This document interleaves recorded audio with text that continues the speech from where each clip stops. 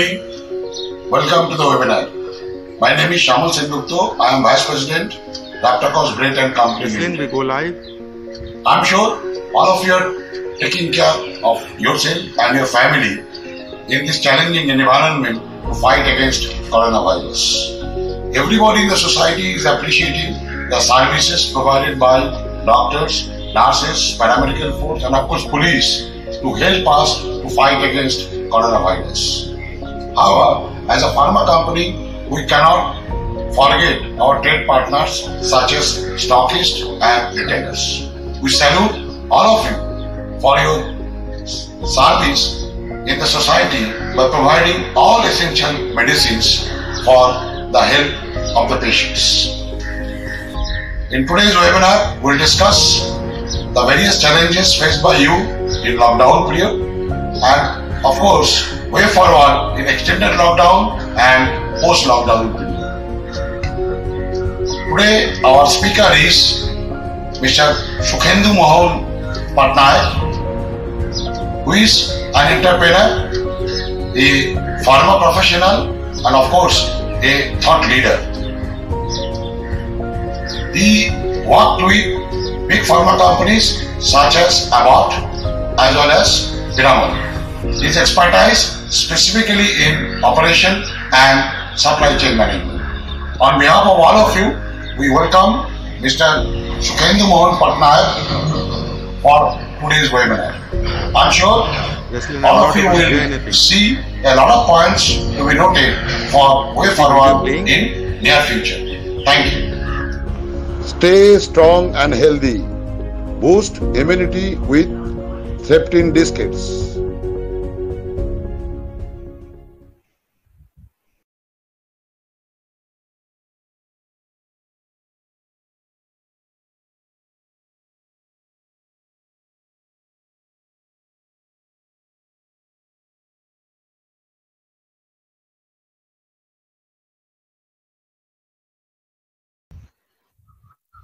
Thank you, Mr. Samuel Sengupta, for the introduction.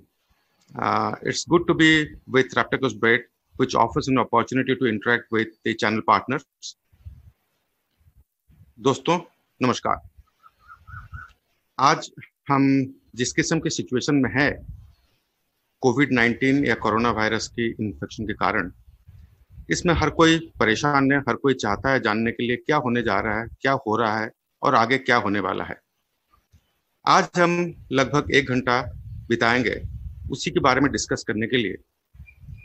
इस किस्म की सिचुएशन में इंडस्ट्री को चैनल पार्टनर्स को इंडिविजुअल बिजनेसेस को क्या करना चाहिए? चलिए देखते हैं क्या क्या उसमें है और क्या हम इसके बारे में डिस्कस करते हैं।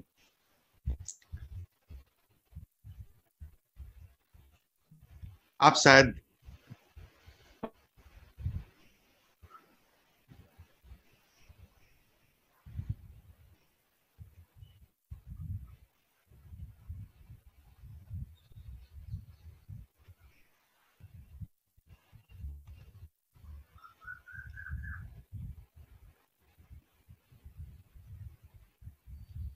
आप शायद देख पाते होंगे मेरा स्लाइड्स सो कोरोना की इफ़ेक्ट फार्मास्यूटिकल इंडस्ट्री के ऊपर क्या होने जा रहा है?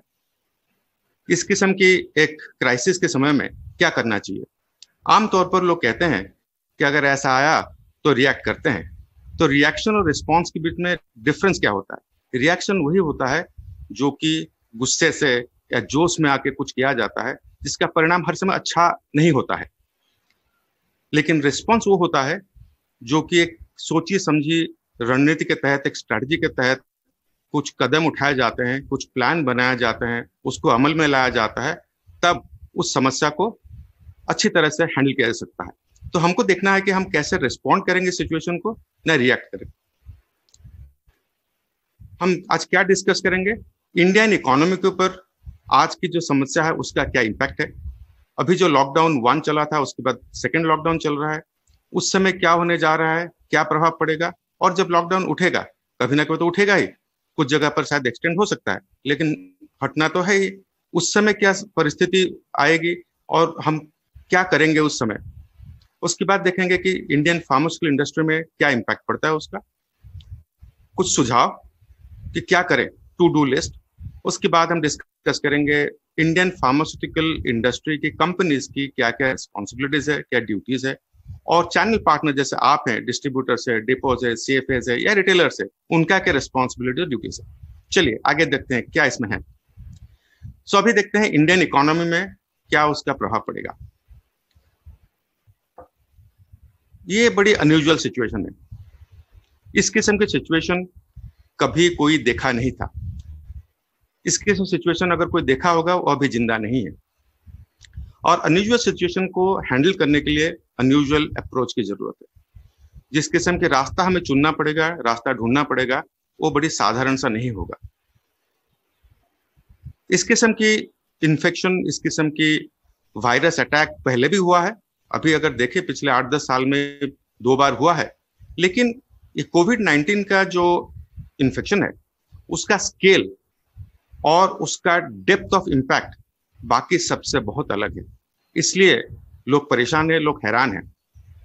पिछले सौ या उससे ज़्यादा साल में कोई भी देश इस किस्म की त्रासदी देखा नहीं, इसलिए लोगों को पता भी नहीं कि उसको कैसे हैंडल किया जाए। आप देखिए दुनिया के सबसे ताकतवर, सबसे धनी देश यूनाइटेड स्टेट्स वहाँ जैसा हो रहा है इस कोविड नाइन्टीन का प्रभाव। उसको देख के लोगों को अंदाज़ा हो रहा है कि आपके पास कितने भी ताकत हो, कितने भी पैसा हो, लेकिन जो समस्या को आप समझ नहीं पाते हैं, उसको सॉल्व करने के लिए, उसका समाधान निकालना आपके लिए इतना आसान होता नहीं है। ये सब चीज़ के अंदर unprecedented economic and trade situation आएँगे।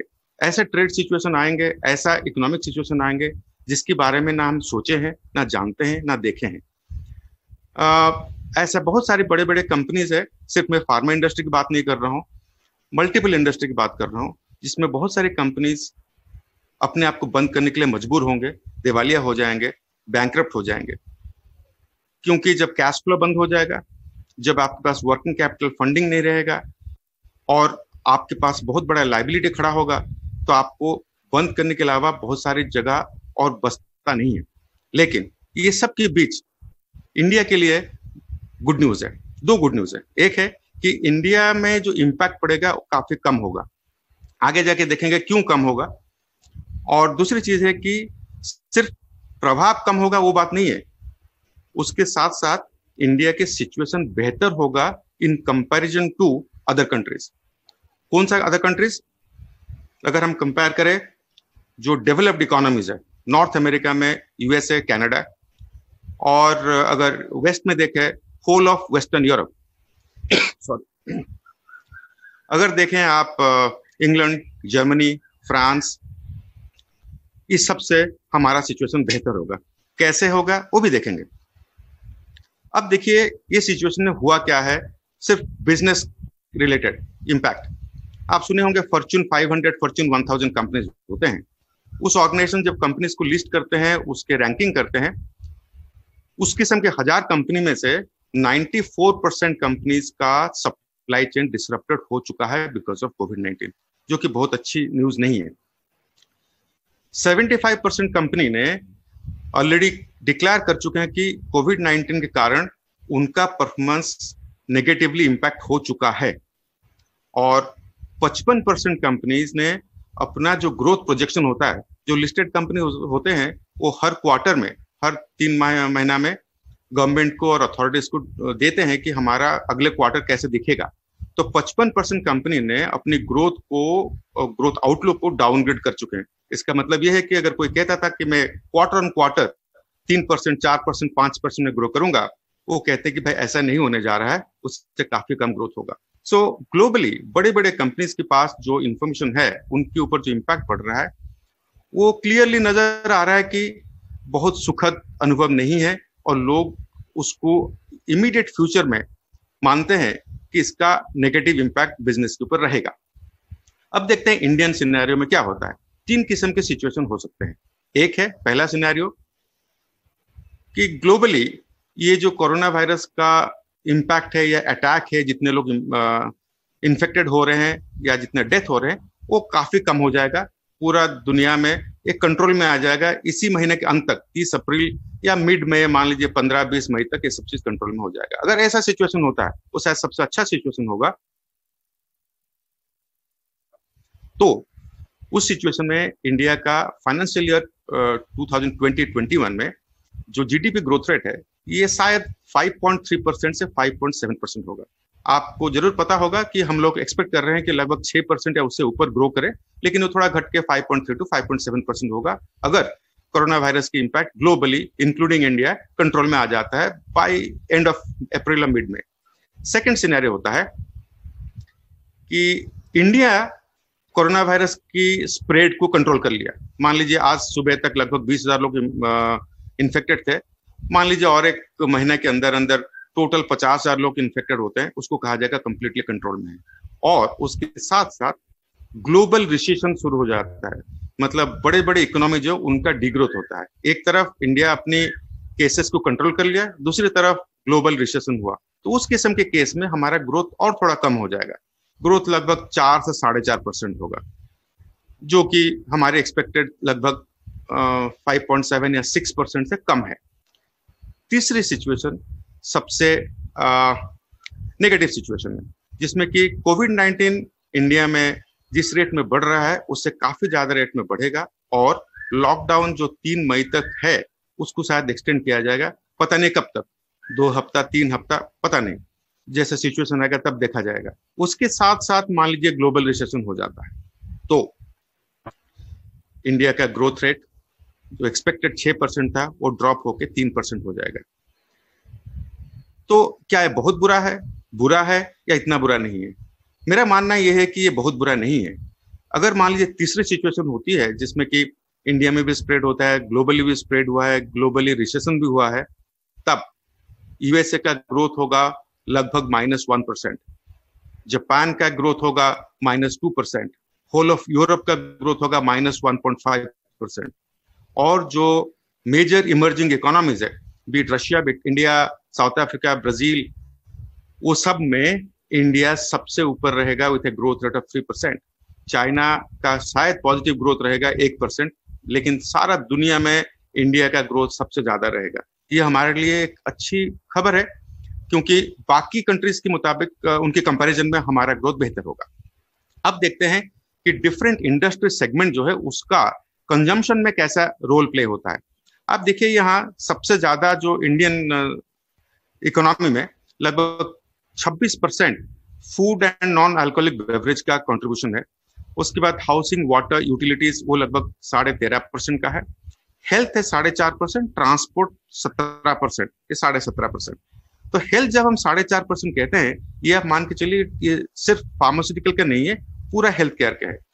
आप ज़रूर जानते होंगे इंडिया में अगर कोई आदमी एक रुपया हेल्थ केयर के ऊपर खर्चा करता है उसमें से सिर्फ़ चौदह पैसा फार्मास्यूटिकल कंपनीज़ के पास आते हैं और बाकी सारी दूसरी हेल्थ केयर सर्विसेज़ और गुड्स में खर्चा होता है। सो so, ये 4.5 परसेंट का लगभग सॉरी छह सात परसेंट फार्मास्यूटिकल इंडस्ट्री का कंजम्पशन है। तो इम्पैक्ट जब होता है कोई इकोनॉमी के ऊपर, वही कंजम्पशन सेक्टर जिसका सबसे ज़्यादा कंट्रीब्यूशन है, वो सबसे ज़्यादा इम्पैक्टेड होते हैं। वैसे भी हेल्थ केयर इंडस्ट्री सबसे कम इम्पैक्टेड होता है क्योंकि ये कोई लग्जरी नहीं है ये कोई चॉइस नहीं है ये मजबूरी है ये एसेंशियल है। इसलिए हेल्थ केयर सेक्टर के ऊपर इसका इम्पैक्ट बहुत ज़्यादा नहीं पड़ना चाहिए। एक छोटा सा पॉइंट कि डिफरेंट जगह पर हमारा इनफॉर्मल सेक्टर के वर्कर्स की कंट्रीब्यूशन क्या है क्योंकि आने वाले दिनों में इम्पैक्ट करेगा इंडस्ट्री बिज़नेस को। सो so, हमारे पास जितने रेगुलर वर्कर होते हैं, जिनके सैलरी होता है, जो पेरोल में होते हैं, उनको छोड़ के ऐसे काफ़ी जगह पर है जो कि इनफॉर्मल नॉन एग्रीकल्चरल वर्कर है, जो कि, जो खेती बाड़ी से जुड़े नहीं है, लेकिन इनफॉर्मल सेक्टर के वर्कर है। उनके सबसे ज़्यादा तादाद है राजस्थान में, फिर पंजाब, आंध्र प्रदेश, छत्तीसगढ़, गुजरात। ये सारी राज्य में कोरोना वायरस की इन्फेक्शन के कारण इनफॉर्मल सेक्टर की वर्कर अवेलेबिलिटी के ऊपर प्रभाव पड़ेगा। क्योंकि वर्कर्स घर चले जाएँगे, जा चुके हैं। जैसे ही लॉकडाउन खुलेगा, लोग जाने की कोशिश में रहेंगे। तो जिस जिस राज्यों में इनफॉर्मल नॉन एग्रीकल्चर वर्कर ज़्यादा है, उस राज्य में लेबर फोर्स मिलना थोड़ा चैलेंजिंग रहेगा कुछ दिनों तक, कुछ महीनों तक। अब देखते हैं इंडियन इंपोर्ट के ऊपर उसका क्या प्रभाव है। चाइना में धीरे धीरे मैन्युफैक्चरिंग सेक्टर खुल रहा है, लेकिन सारे के सारे खुले नहीं है। कुछ खुले हैं, कुछ खुलने जा रहे हैं। जो खुले हैं, वो भी अपने seventy eighty percent capacity utilisation पर नहीं आए हैं। आपको पता होगा कोई भी manufacturing facility hundred percent capacity में चल नहीं सकता है चलना चाहिए नहीं। Eighty percent to eighty five percent capacity utilisation को माना जाता है बहुत अच्छा। अगर कोई manufacturing facility forty fifty percent capacity utilisation में चलता है तो उसकी प्रोडक्टिविटी उतना ही हद तक कम होता है। सो so, अभी भी चाइना में वो नॉर्मल से नहीं आए लगेगा समय उसको आने के लिए। हम देखते हैं कि जो जो देश में कोविड नाइन्टीन का इन्फेक्शन आया है, वैसे तो कोई देश बचा नहीं है। कमोबेश सब में हुआ है, लेकिन 230 देशों में जो इन्फेक्शन हुआ है, उसमें से सबसे ज़्यादा जिनके ऊपर प्रभाव पड़ा है, उसके बारे में थोड़ा देखते हैं। ये जितना देश है, China, Italy, Spain, France, Germany, Japan, South Korea, US, Iran, इसमें हम देखते हैं कि ये सब देशों का जो इम्पोर्ट होता है, बाहर से जो सामान लाया जाता है, उसका कितना परसेंटेज चाइना से आता है। तो देखेंगे इंडिया का टोटल इंपोर्ट का 13.7 परसेंट चाइना से आता है। तो वो थोड़ा डिस्टर्बिंग चीज़ है। सिर्फ़ फार्मास्यूटिकल नहीं है, आपको पता होगा फार्मास्यूटिकल का जो बल्क ड्रग है एपीआई होता है और इंटरमीडिएट्स होते हैं। ये ज़्यादातर इंडिया में चाइना से ही आता है। थोड़ा बहुत कुछ यूरोप से आता है, लेकिन यूरोप का एपीआई इंटरमीडिएट का प्राइस ज़्यादा है तो हमारी ज़्यादा डिपेंडेंस चाइना के ऊपर है। इसके बाद फिर अपार्ट फ्रॉम फार्मास्यूटिकल अगर आप देखें फाइन केमिकल स्पेशलिटी केमिकल्स वो सारी मेटेरियल भी चाइना से आते हैं। तो हमारा डिपेंडेंस है। ये जो 13.7 परसेंट ये सिर्फ़ फार्मास्यूटिकल के नहीं इंडिया के सारी इंपोर्ट के बारे में बात हो रही है। दूसरी चीज़ ये एक है सेक्टर एक्सपोर्ट के बारे में बात करते हैं। Comparison of foreign value added component as percentage of gross manufacturing exports हम मैन्युफैक्चरिंग एक्सपोर्ट करते हैं लेकिन जब एक्सपोर्ट करते हैं उसको वो प्रोडक्ट को बनाने के लिए हमको कुछ कुछ चीज़ बाहर से लाना पड़ता है। तो हम अगर सौ रुपए का सामान बेचते हैं उसमें से सत्ताईस पॉइंट तीन परसेंट के सामान हम लाते हैं बाहर से एक्सपोर्ट करने के लिए। सो so, अगर देखें पूरा एशियन कंट्रीज़ में India Malaysia Indonesia Thailand Vietnam India का जो डिपेंडेंस है काफ़ी कम है कंपेयर टू मलेशिया और वियतनाम और इन थाईलैंड तो उस मामले में देखा जाए तो इंडिया के ऊपर बहुत ज़्यादा इंपैक्ट पड़ना नहीं चाहिए। तो चाइना का जो आउटपुट रिडक्शन हुआ है इंडियन इंडस्ट्री को थोड़ा फ़र्क पड़ेगा। फिर भी इतना ज़्यादा नहीं पड़ेगा कंपेयर टू अदर कंट्रीज़ अब देखते हैं जब लॉकडाउन शुरू हो चुका है सेकेंड फ़ेज़ में है, लगभग हम आधा तक आ चुके हैं तो उसका क्या प्रभाव है?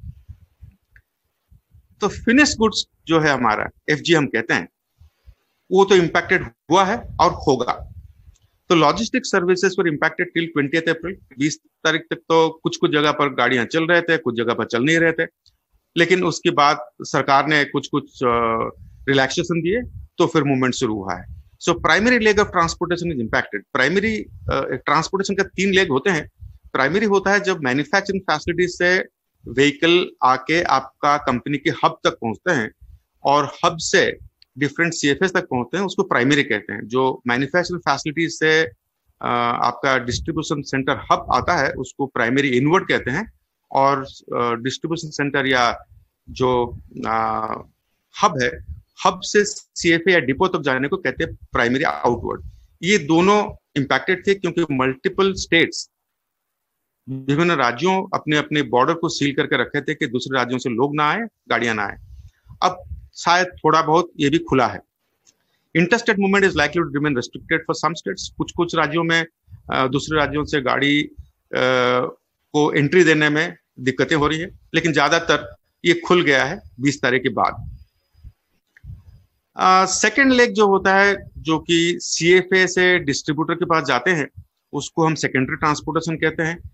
वो लोकली काफ़ी हद तक लोग उसको हैंडल किए हैं। मैं मल्टीपल कंपनीज़ की डिस्ट्रीब्यूशन हेड्स के साथ बात कर रहा था और लोग कहते हैं कि कमो हर स्टेट में जो मार्च का क्लोजिंग था, उसका सारे के सारे गुड्स डिस्ट्रीब्यूटर स्टॉकिस्ट के पास शायद अप्रैल तीन चार तारीख तक डिस्पैच हो गया था। अभी फिर अप्रैल का क्लोजिंग आ रहा है और लोगों का विश्वास है कि इस बार भी जो 26 या 27 अप्रैल को क्लोजिंग लोग करेंगे वो भी 30 तारीख या एक तारीख तक उसका पूरा का पूरा डिस्पैचेस हो जाएँगे।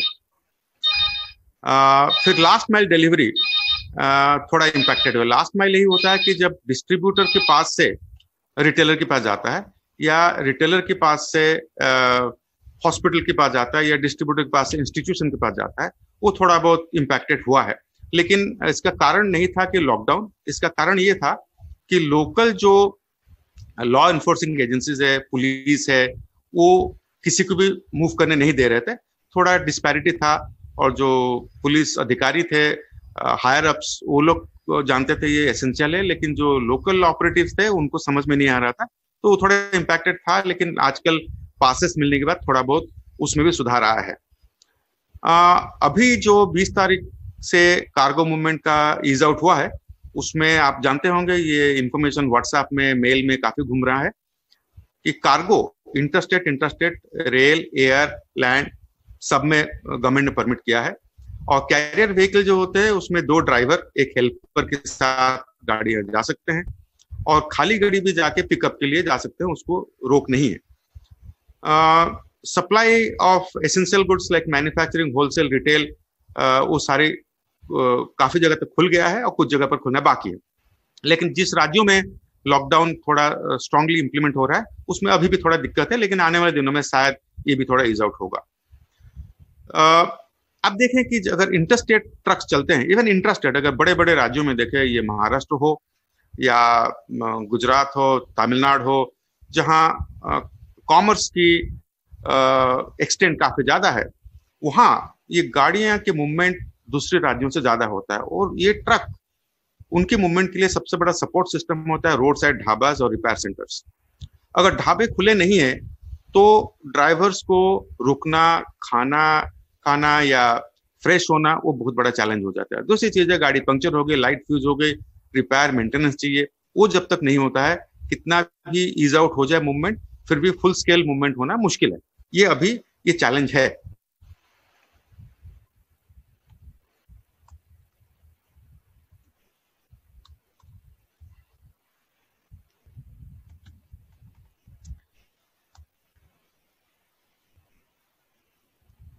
सो so, अभी एपीआई और इंटरमीडिएट इसमें हम देखें कि एंसिलरी सर्विसेज़ कैसे इंपैक्टेड होते हैं। एंसिलरी सर्विसेज़ ये होता है सिर्फ़ वेयर हाउस खुल जाने पर या ट्रक चलने पर सारी समस्या के समाधान नहीं हो जाते हैं। आपका डिस्ट्रीब्यूशन सेंटर्स को ऑपरेट करने के लिए बहुत सारी सपोर्ट सिस्टम चाहिए होता है।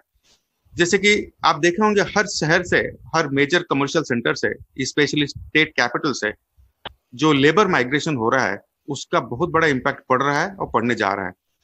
आ, जो गाँव के लोग हैं या छोटे शहरों के लोग हैं, वो बड़े बड़े शहरों से जाने लगे हैं, जब कोई गाड़ियाँ नहीं है, ट्रेन नहीं है, पैदल चल के जा रहे हैं। और वो जो जा रहे हैं, नहीं लगता है कि बहुत जल्दी वो वापिस आएँगे। अगर वो वापिस नहीं आएँगे, आपका वेयर हाउस के ऑपरेशन आपका ढाबा का चलना, आपका सर्विस सेंटर रिपेयर सेंटर चलना तो थोड़ा मुश्किल होगा, लेकिन उसका समय लेंगे। सब मैन्युफैक्चरिंग सेक्टर मैन्युफैक्चरिंग फैसिलिटीज़ जो होते हैं, जो बड़े बड़े फैक्ट्रीज हैं बड़े बड़े कंपनीज़ के फैक्ट्रीज हैं, उनको इतना फ़र्क नहीं पड़ेगा क्योंकि उनके पास ज़्यादातर मोर देन एट्टी परसेंट जो एम्प्लॉयज़ होते हैं, वो परमानेंट होते हैं पेरोल में होते हैं, उनका ख्याल रखा जाता है।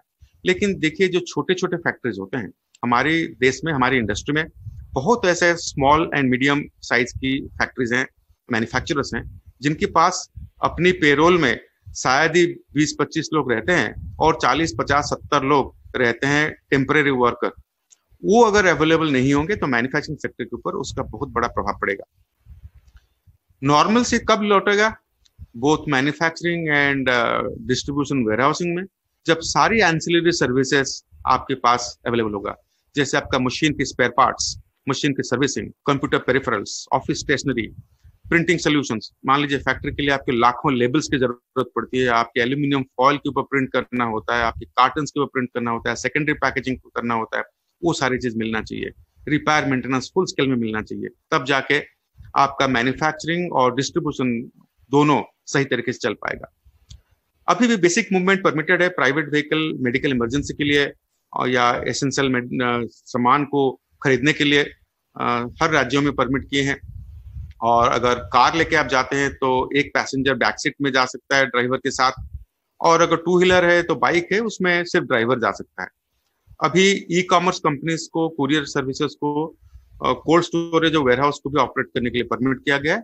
लेकिन only for essential items not any kind of items जैसे कि कोई कहेगा कि ई कॉमर्स से मैं फ़ैशन गारमेंट मंगाऊँगा या कोई शौकिया चीज़ मंगाऊँगा, शायद वो सब चीज़ के लिए अभी सरकार ने मना करके रखा है और आज की जो अखबार की न्यूज़ था उसमें कि आ, सारी ई कॉमर्स कंपनीज़ को कहा गया है कि आपके पास जो एसेंशियल प्रोडक्ट्स है उसका लिस्ट दीजिए।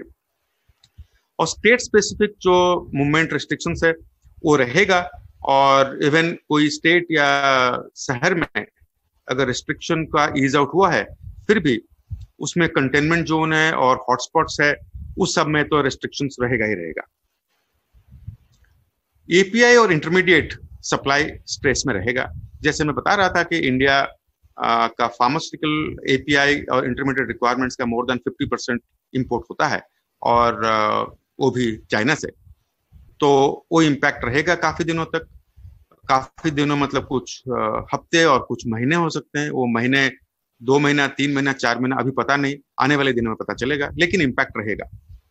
Globally airlines shipping lines cross border surface transportation restricted रहेगा, क्योंकि आप देखें जो हुआ है, चाइना में ये कोविड नाइन्टीन इन्फेक्शन होने के बाद, ये लगभग नवंबर एंड दिसंबर में हुआ था, वो लोग वहाँ उसको कंट्रोल करने के लिए जो भी कोशिश किए, लेकिन एक सबसे बड़ा चूक, गलती उनसे हुई कि वहाँ के लोगों को देश के बाहर जाने के लिए रोका नहीं गया, या चाइना के बाहर के लोगों को चाइना में आने से रोका नहीं गया।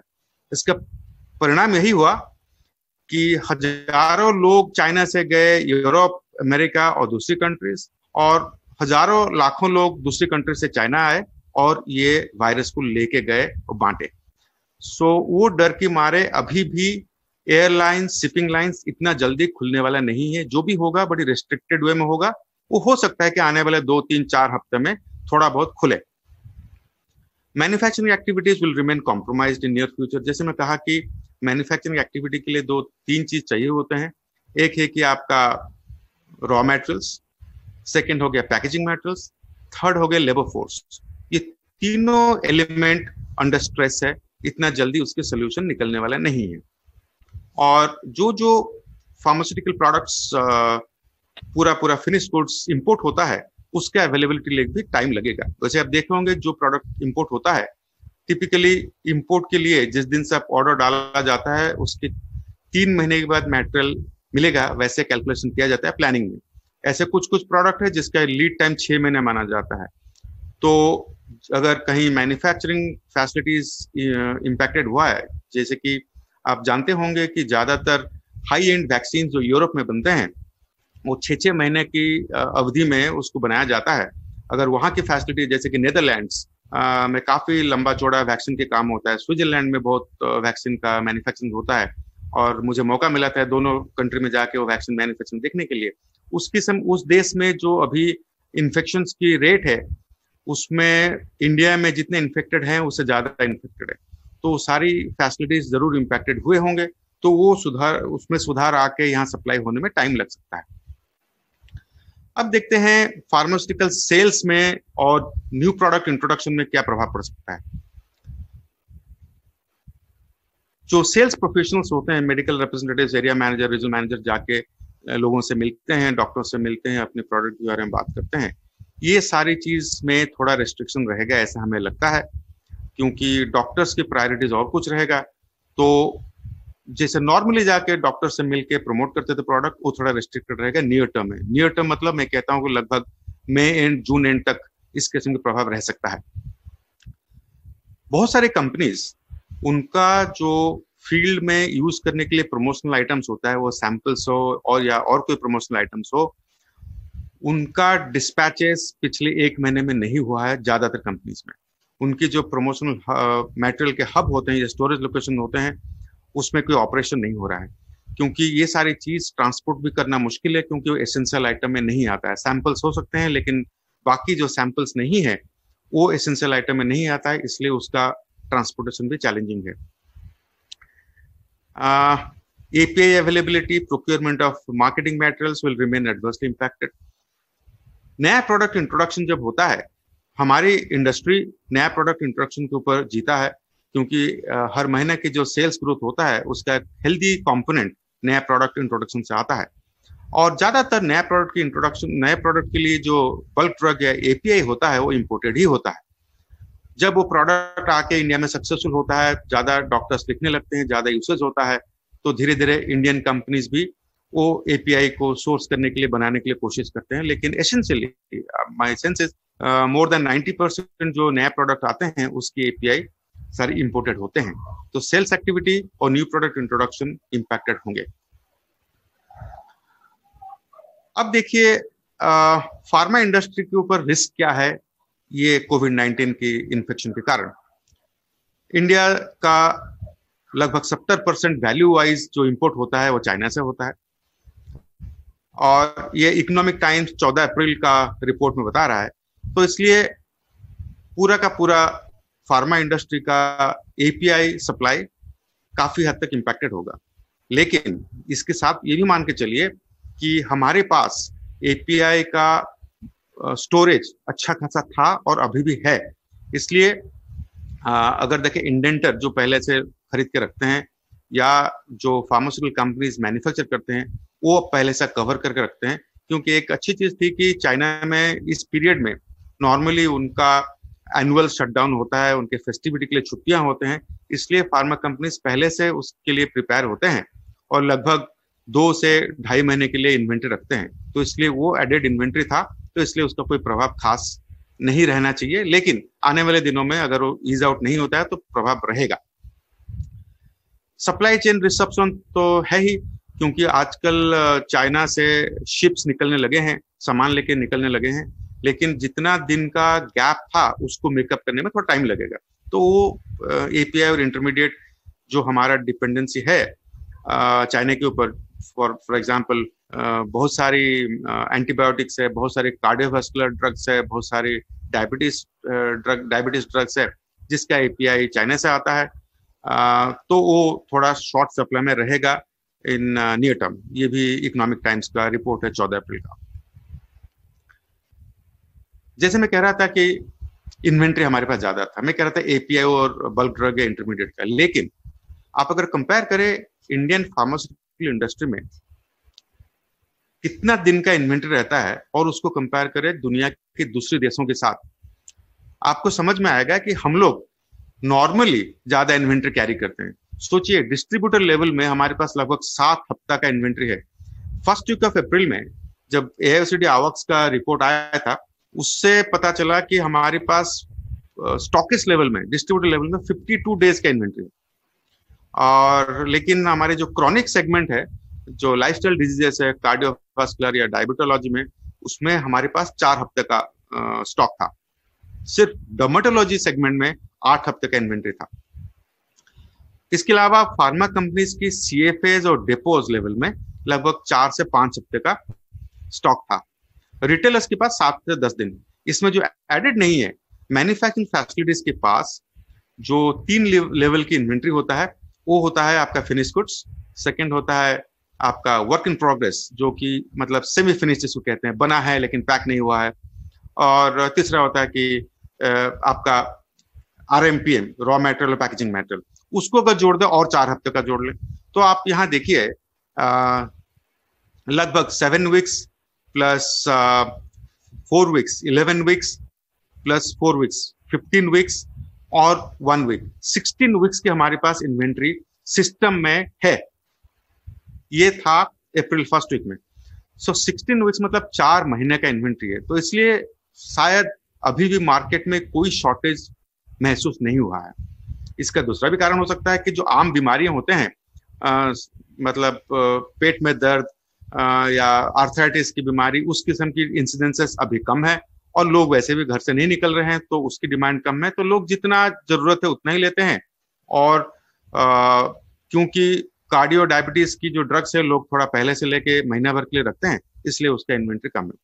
सो हाई इन्वेंट्री हमारे जो इंडस्ट्री में था वो अभी तक हमें हेल्प किया कि हम आउट ऑफ़ स्टॉक मार्केट से ना जाए। सो so, ये एक बहुत बड़ा ताकत हमारे पास है और इसको हमें जाके आगे देखना है कि कैसे हम इसको लिवरेज करें। आप अगर देखें, ये जो चार्ट में दिख रहा है कि एंटी इन्फेक्टिव लगभग फेब्रुवरी में था, सैतालीस दिन का, मार्च में पैंतालीस दिन का है, लेकिन डर्मा में 58 डेज़ का है। सबसे थोड़ा वरिंग है कि एंटी डायबिटिक का सत्ताईस दिन का टोटल था, और कार्डियोलॉजी कार्डियक प्रोडक्ट से बत्तीस दिन का इन्वेंट्री था। सो ये ज़रूरी है कि ये सब चीज़ का इन्वेंट्री थोड़ा बढ़े, ताकि क्रॉनिक डिज़ीज़ के पेशेंट्स को ड्रग की कमी ना हो। जो लोग स्टॉक मार्केट में एक्टिव है या इंटरेस्ट रखते हैं, उनके लिए ये वाला स्लाइड है। आपको शायद थोड़ा इनपुट मिलेगा इसके बारे में। फार्मा इंडस्ट्री का जो कंपनी लिस्टेड है, हर किसी का फ्यूचर के बारे में जो ब्रोकरेज हाउसेस है, वो सब अपने अपने रिपोर्ट देते रहते हैं। आप देखे होंगे जो स्टॉक मार्केट में अभी एक्टिव हैं, पिछले आठ दस दिन में बहुत सारी वोलेटिलिटी है स्टॉक की प्राइस बढ़ता है, घटता है, लेकिन कुछ भी बड़े घटे फार्मास्यूटिकल कंपनीज़ की स्टॉक्स टॉप टेन गेनर्स में रहते हैं। अगर जो सबसे ज़्यादा तेज़ी में रहने वाले, बढ़ने वाले स्टॉक्स होते हैं, वो ज़्यादातर फार्मास्यूटिकल रहते हैं। आज सुबह अगर देखेंगे उसमें टॉप टेन में चार थे फार्मा कंपनीज़ औरबिंदो फार्मा था कैडिला था सन फार्मा था। तो ब्रोकरेज हाउस की जो आउटलुक है, कहते हैं कि बहुत सारी इंडस्ट्री के ऊपर तो बहुत ज़्यादा उम्मीद नहीं है लेकिन फार्मा इंडस्ट्री के ऊपर उनका बहुत आशा है कि आने वाले दिनों में इस इंडस्ट्री अच्छा करेगा। Growth annual growth rate financial institution investors देख रहे हैं कि फा, फार्मा में लगभग 10 से 11 परसेंट का फाइनेंशियल बीस इक्कीस में 10 से 11 परसेंट का ग्रोथ रहेगा। और पीई e होता है प्राइस टू अर्निंग रेशियो मतलब आज जो रेट चल रहा है, उसको अगर आप डिवाइड कर दे अर्निंग पर रेशियो में, वो आता है पीई मतलब जितना ज़्यादा पी होता है, उसको, उस कंपनी के ऊपर इन्वेस्टर का ज़्यादा भरोसा, वही कहा जाता है। तो कुछ इंडस्ट्री दस की पीई में चलते हैं, कुछ चालीस की पीई में चलते हैं। फार्मा का इंडस्ट्री का पी अभी तेईस चल रहा है, जो कि पहले लगभग छब्बीस, सत्ताईस चलता था। इसका मतलब यह है कि अभी भी इसमें तीन चार परसेंटेज पॉइंट का ग्रोथ या चार सौ बेसिस पॉइंट की ग्रोथ की अपॉर्चुनिटी है। तो जो फार्मा इंडस्ट्री में इन्वेस्ट करना चाहता है, ये एक अच्छा मौका है कि अभी भी हेडरूम में आप अच्छा पैसा कमा सकते हैं, अच्छे फार्मा कंपनी में इन्वेस्ट करके। अब देखते हैं कि हम कैसे रिस्पॉन्ड करें सिचुएशन को रिएक्ट ना करें। ये सिचुएशन आज जो है, बहुत जल्दी जाने वाला नहीं है। टाइम लगेगा। ये हो सकता है महीनों लग जाए सही होने में लिए कुछ एक्सपर्ट्स तो कह रहे हैं कि ये कम से कम छह महीने लगेगा कुछ कहते हैं कि उससे ज़्यादा लगेगा। लेकिन ये इन जनरल फार्मास्यूटिकल इंडस्ट्री के लिए नहीं है ये इंडियन इकोनॉमी के लिए है। फार्मास्यूटिकल इंडस्ट्री के लिए मेरा मानना है कि तीन से छह महीने के अंदर बहुत सारी चीज़ ठीक ठाक हो जाना चाहिए। तो इसके लिए आपको प्रिपेयर करना पड़ेगा प्लान और शॉर्ट टर्म प्लान ऑब्जेक्टिव के साथ आपको काम करना पड़ेगा ताकि आपको समझ में आए कि हमें ये सिचुएशन से बाहर कैसे निकलेंगे। तो तीन क्रिटिकल एलिमेंट है। पहला है कैश फ्लो सेकेंड हो गया कॉस्ट ऑप्टिमाइजेशन थर्ड हो गया एफिशिएंसी इंप्रूवमेंट इस तकलीफ़ के दौरान जिन कंपनियों के ऊपर सबसे ज़्यादा प्रभाव पड़ेगा, कंपनी मतलब मैं डिस्ट्रीब्यूटर की बात कर रहा हूँ रिटेलर की बात कर रहा हूँ बिज़नेस की बात कर रहा हूँ, जो अपने कैश फ्लो को सही तरीके से मैनेज करेंगे, वो बेहतर सिचुएशन में रहेंगे लंबा दौड़ के, लंबा दौड़ लगाने के लिए। अगर कैश फ्लो की इशू है तो सैलरी देना मुश्किल होगा ओवरड्राफ्ट लिमिट खत्म हो जाएगा प्रॉफिटेबिलिटी खा जाएगा वर्किंग कैपिटल बचेगा नहीं टैक्स एरियर्स हो जाएगा क्रेडिटर एरियर हो जाएगा तो कैश फ्लो को मेंटेन करना ज़रूरी है। आने वाले स्लाइड में हम बात करेंगे कैश फ्लो को मेंटेन करने के लिए बेहतर करने के लिए क्या क्या रास्ते हो सकते हैं। कॉस्ट ऑप्टिमाइजेशन में आपको देखना है कि ऐसे कौन सी नॉन एसेंशियल एक्सपेंडिचर है जिसको आप कम कर सकते हैं। आप देखिए कि अगर आपका वेयर हाउस की साइज़ जो है क्या उसको छोटा कर सकते हैं? क्या ऐसा कुछ आप खर्चा कर रहे हैं कि जिसको आप कम कर सकते हैं? एफिशिएंसी इंप्रूवमेंट कि आज जितने रिसोर्स लगा के आप काम कर रहे हैं, उतना ही काम कराने के लिए क्या कम पैसे में या कम आदमी में, कम एरिया में काम कर सकते हैं? ये तीन एलिमेंट होगा आपको शॉर्ट टर्म में देखने के लिए कि इस सिचुएशन से बाहर जब तक नहीं आते हैं, तब तक ये तीन एलिमेंट को सुधारें। तो टू डू करना क्या है? ये लॉकडाउन के दौरान आपको करना यह है कि जितने सारे आपके पेंडिंग डॉक्यूमेंटेशन है, उसको खत्म करें। होता है ना, कई बार हम सोचते हैं, अरे यार टाइम नहीं मिला इसको खत्म करने के लिए, कभी थोड़ा मौका मिले कर लेते हैं। और वो महीनों तक रहता है। उसको देखिए क्या क्या बाकी है। उसको कंप्लीट करिए। आपके जो स्टाफ है, दिन रात भाग दौड़ करते रहते हैं, रोज आते हैं, आग लगी रहती है, उसको बुझाना होता है। तो अभी वैसा नहीं है तो उनको थोड़ा ट्रेन करिए। बेहतर, क्योंकि आप जितना अच्छा जानते हैं, जितना अच्छा कर पाते हैं, शायद आपके स्टाफ नहीं जानता होगा, उसको ट्रेन करिए। नया बिज़नेस प्लान बनाइए। मैं बात करूँगा नया बिज़नेस प्लान में क्या क्या हो सकता है। आपकी जो एग्जिस्टिंग कस्टमर है पोटेंशियल कस्टमर है, उनके साथ कनेक्ट करिए, ताकि वो छूट ना जाए। उनका भी हौसला बना रहे। जब ये सिचुएशन से बाहर आएँगे, आना तो है ही, ज़रूर आएँगे तो वो फिर आपके पास आए और ज़्यादा बिज़नेस करें। बिज़नेस को एक्सपैंड करने के लिए क्या क्या चॉइसेस है क्या क्या अपॉर्चुनिटी है, उसको ढूंढिए। तो उसमें से तीन एलिमेंट लेके मैं बात करना चाहता हूँ डॉक्यूमेंटेशन जो पेंडिंग डॉक्यूमेंटेशन को उसको सही करने के लिए। क्या डॉक्यूमेंटेशन हो सकता है? टैक्स रिलेटेड बहुत सारे टैक्स रिलेटेड डॉक्यूमेंट होता है, रखते हैं आप, लेकिन उसको सिक्वेंसली नहीं रहता है। मान लीजिए आपका इनकम टैक्स रिलेटेड डॉक्यूमेंट आठ साल का होना चाहिए GST related previous sale tax के रिलेटेड आठ साल का होना चाहिए। वो सारे पेपर को एक बार चेक कर लीजिए, साल by month by year by document type सब फ़ाइल करके नंबरिंग करके लेबल करके रख दीजिए ताकि कभी ज़रूरत पड़े तो विद इन मिनट्स आप उस फ़ाइल को रिट्रीव कर पाए। कंप्लायंस रिलेटेड जो भी है वो ड्रग ड्रग लाइसेंस के रिलेटेड हो या आपका गुमस्ता लाइसेंस या शॉप एंड एस्टेब्लिशमेंट लाइसेंस हो, आपका अगर पीएफ लगता है एम्प्लॉयज़ के लिए वो है ई एस आई सी है, वो सारे कंप्लायंस रिलेटेड डॉक्यूमेंट्स चेक कर लीजिए, सही करके रखिए। अकाउंट्स रिलेटेड कहीं एंट्री बाकी रह गया है, कहीं ऑन अकाउंट पैसा पड़ा हुआ है और क्रेडिटर डेटर दोनों की तरफ़ से वो सारे डॉक्यूमेंट को सही कर लीजिए। एम्प्लॉय के अगर अपॉइंटमेंट है फ़ोटो है, उसका केवाईसी है, वो देख लीजिए किसका मिसप्लेस हो गया या किसका नहीं है। अभी ज्वाइन किया था दो महीना पहले, वो सब डॉक्यूमेंट नहीं दिया है, उसको सब सही कर लीजिए। अगर बैंक लोन है ओवरड्राफ्ट है, वो सारे डॉक्यूमेंट्स आपका इन्वेस्टमेंट रिलेटेड डॉक्यूमेंट्स है, वो सब सही कर लीजिए। वो पेंडिंग डॉक्यूमेंटेशन इसी दौरान, क्योंकि वर्कलोड कम है, ये सब सही करके लिस्ट करके रख लीजिए। स्टाफ को ट्रेनिंग देने के लिए देखिए उनकी एफिशिएंसी कैसे इंप्रूव करते हैं। एफिशिएंसी होता है कि आ, उतने ही टाइम में जितना काम करते हैं जितना गलतियाँ होता है गलतियाँ कम हो। आमतौर पर देखा जाए अगर एक अनस्किल्ड आदमी दिन में सौ काम करता है उसमें से साठ काम पहली बार गलती गलत होता है उसको सुधारा जाता है। इसका मतलब sixty percent of time goes in correcting the errors. तो उसको कैसे कम किया जाए? जितने काम होते हैं उसमें गलतियाँ कितना कम हो वो होता है एफिशिएंसी इंप्रूवमेंट के लिए। प्रोडक्टिविटी इंप्रूवमेंट है कि अगर एक बंदा जाके दिन में पच्चीस, तीस रिटेल काउंटर घूमता था, क्या उससे और दस परसेंट बढ़ाया जा सकता है? या जितना ऑर्डर ला पाता था, उससे बेहतर कर पाता है? वो सारे मल्टीपल प्रोडक्टिविटी की पैरामीटर्स है। उसको देखे कैसे इंप्रूव किया सकता है। Soft skill to deal with customers अगर कोई स्टाफ है, थोड़ा रूडली बिहेव करता है, या उसको इतना समझ नहीं है कि कस्टमर को कैसे बाँध कर रखा जाए, उसको थोड़ा सॉफ्ट स्किल सिखाइए ताकि वो बेहतर कस्टमर को बाँध के रख पाए।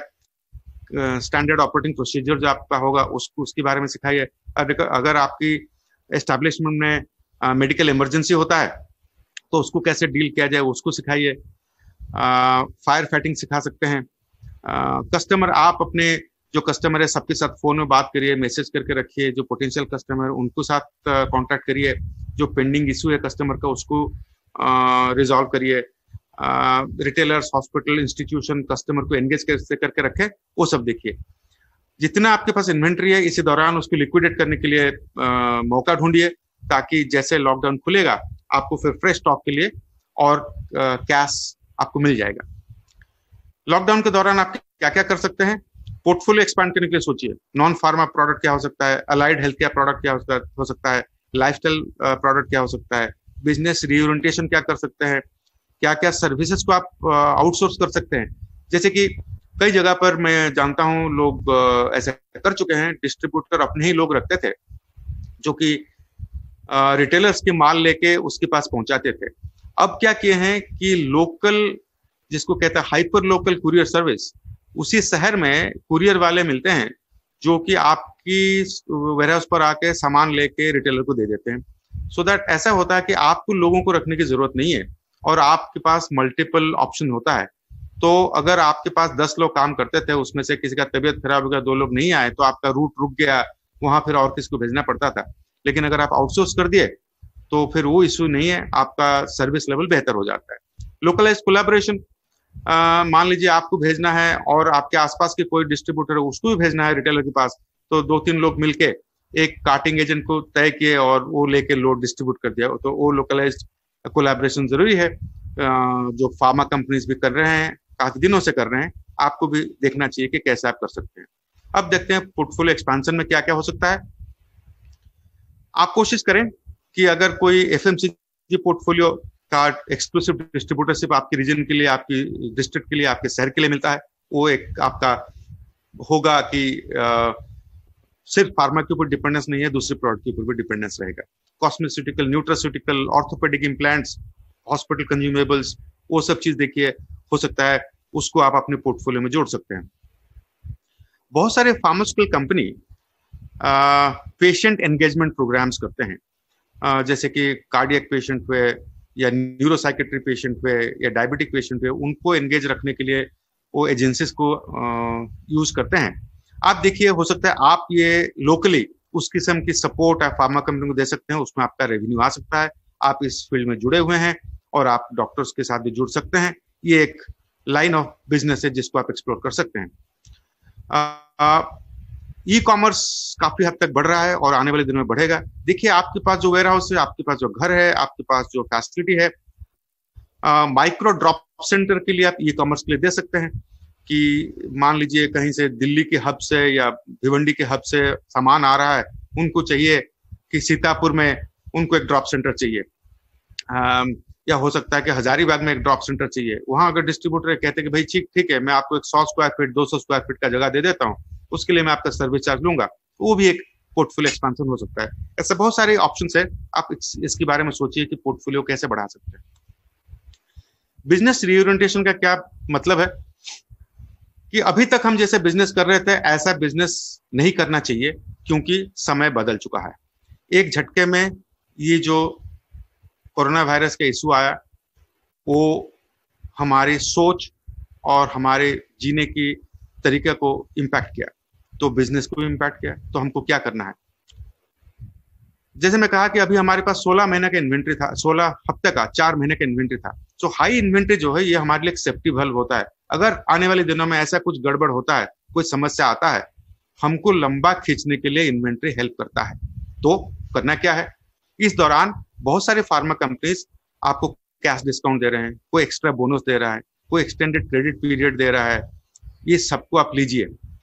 और ये जो मौका है, इसको हाथ से जाने मत दीजिए, क्योंकि बार बार नहीं आता लंबा समय तक नहीं आता है।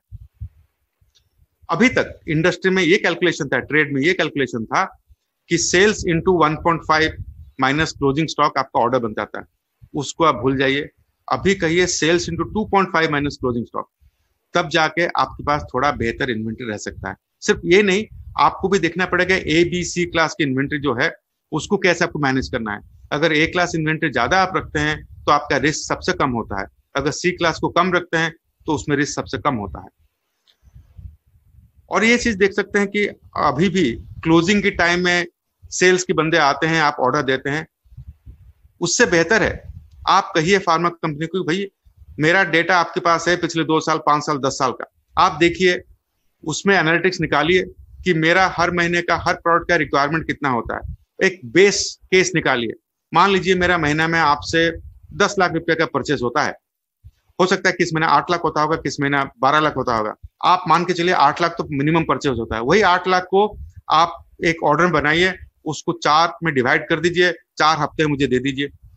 और मैं हफ़्ते हफ़्ते का जो ऑर्डर होगा, उसको मैं पेमेंट करूँगा। उसमें होगा कि उसके अलावा जो आपको एक्सेस स्टॉक चाहिए होगा, आप महीना में एक, दो बार, तीन बार जो चाहे ऑर्डर दे सकते हैं। उसमें क्या होगा सप्लाई प्रेडिक्टेबिलिटी आ जाएगा, आपका कैश फ्लो बेहतर हो जाएगा।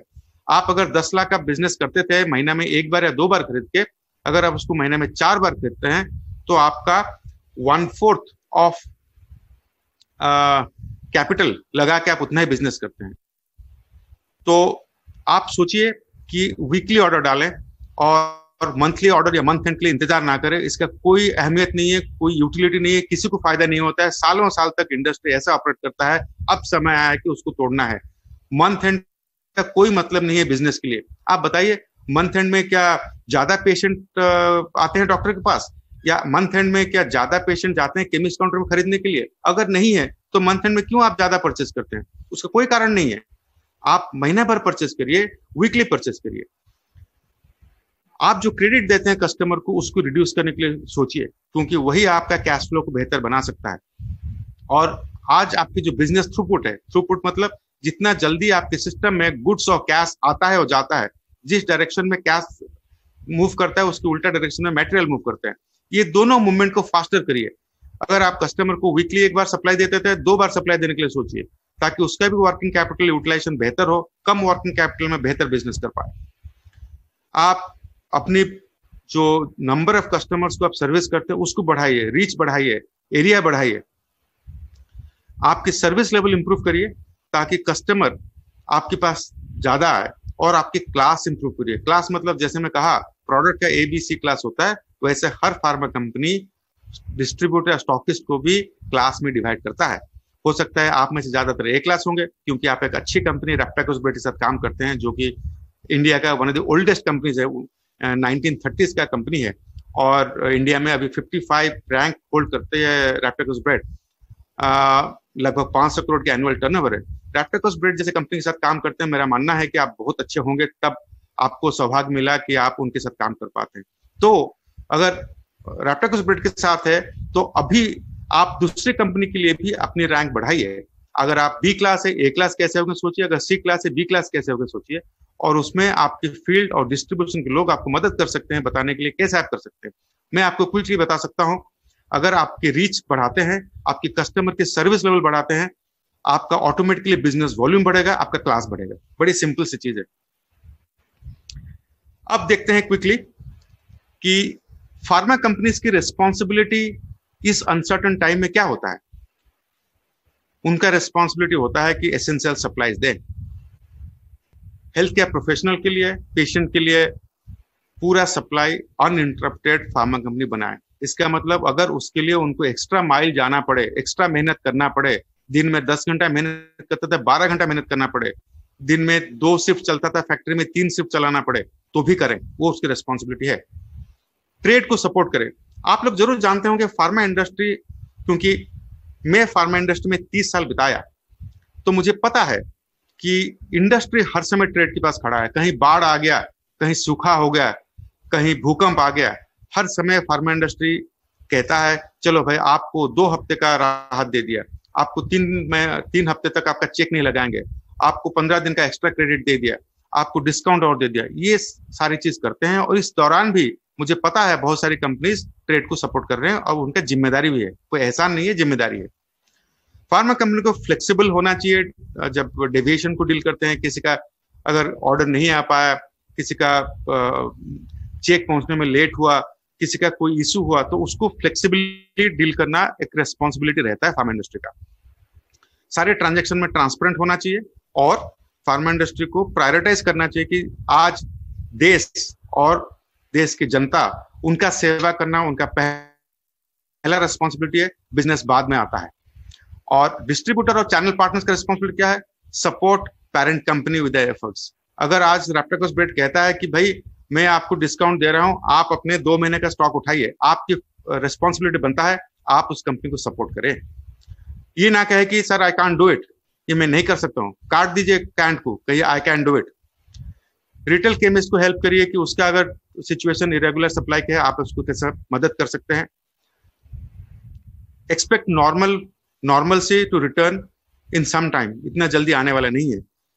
Be transparent in transaction and prioritize the country and its citizen तो ये भी आपकी रिस्पॉन्सिबिलिटी है। तो समराइज करें कि ये जो अभी हमारे साथ हो रहा है, हमारे देश में हो रहा है कोविड नाइन्टीन की इन्फेक्शन उसके प्रभाव ये भी चला जाएगा, जाना ही है। और जो इसके लिए प्रस्तुत रहेंगे, जो अपने आप को प्रिपेयर करेंगे, और बहुत लंबा समय तक काम कर सकते हैं। एक कहावत है when going gets tough tough ones get going मतलब अगर आपके पास वो कुत है, अगर आपके पास तो शक्ति है, आप, अगर आपके पास वो मनोशक्ति है तो कितना भी तकलीफ़ आए, आप आगे बढ़ पाएँगे। मेरा सारी शुभकामनाएँ, आप अच्छे काम कर रहे हैं, करते रहिए। धन्यवाद। अभी जो सवाल आएँगे उसके मैं जवाब दूँगा।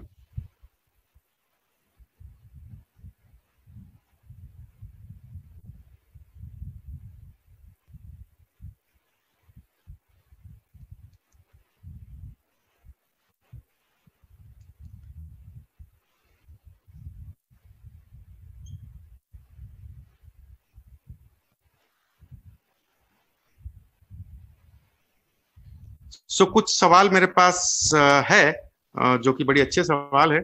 उसके जवाब देने के लिए मैं कोशिश करता हूँ।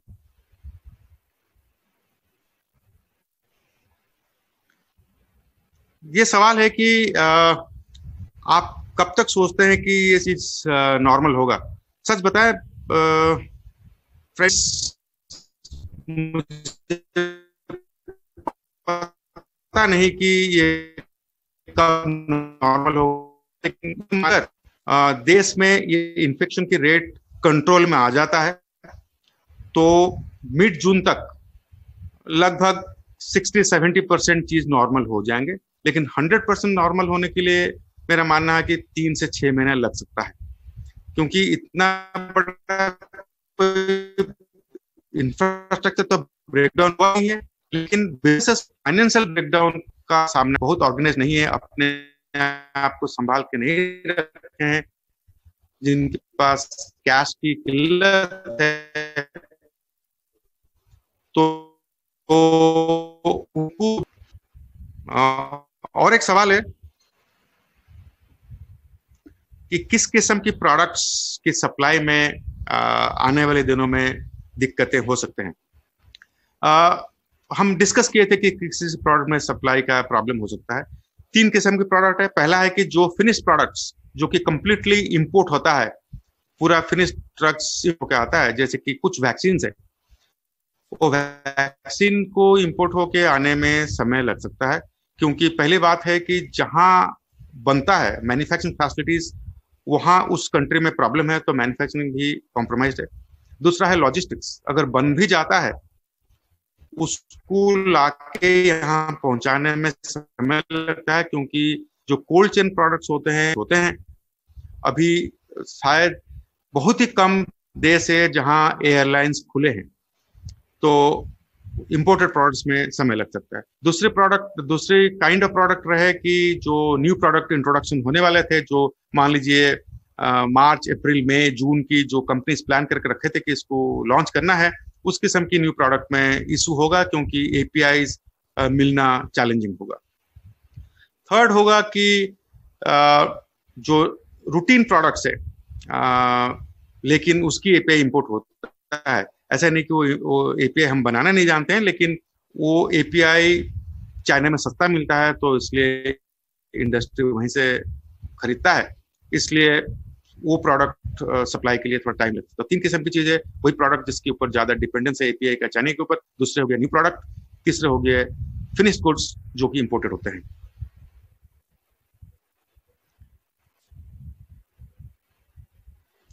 Uh, एक इंटरेस्टिंग सवाल है कि uh, हम देख रहे हैं कि food supplements vitamin nutraceutical type of product जो है उसका डिमांड बढ़ रहा है क्या ये बढ़ेगा? आ, लगता ऐसा है। सिर्फ़ ये नहीं आप देखिए ये तो बढ़ना ही है। आप सोचिए आज से 20 साल पहले कितने लोग सोचते थे कि पानी खरीद के लोग पिएँगे कम से कम मैं तो मुझे तो नहीं लगता था से 93, 94, 95 में कि ज़्यादातर लोग पानी खरीद के पिएँगे जब ये चीज़ सामान आराम से मिलता है लोग खरीद के क्यों पिएँगे लेकिन आप गाँव में देखिए लोग दस रुपया देके पानी का बॉटल खरीद के पीते हैं। क्योंकि ये एक लाइफस्टाइल हो चुका है। वैसे ही आप देखिएगा हैंड सैनिटाइजर्स मास्क और उस किस्म की चीज़ एक लाइफस्टाइल रिक्वायरमेंट हो जाएगा। उस किस्म की चीज़ की रिक्वायरमेंट होगी। उसके साथ साथ लोग प्रिवेंटिव केयर के लिए जो जो चीज़ ज़रूरत पड़ता है उसका भी डिमांड बढ़ेगा। सो so, अगर आप कहते हैं कि न्यूट्रोसिटिकल या वाइटामिन उस किस्म की चीज़ की रिक्वायरमेंट बनता है बढ़ता है बढ़ा है आ, मुझे लगता है कि आने वाले दिनों में बढ़ेगा लेकिन आज इसका जितना डिमांड है वो एक स्लो uh, रेट में बढ़ के एक जगह पर स्टेबलाइज होगा। इसके लिए लगभग आपको छह महीने से बारह महीने के बाद अंदाज़ा मिलेगा कि इसका डिमांड कितना बढ़ेगा। Thank you so much take care of yourself be safe be at home and help the country and citizen thank you रेप्टोकोस bread for giving this opportunity to interact with the channel partners thank you so much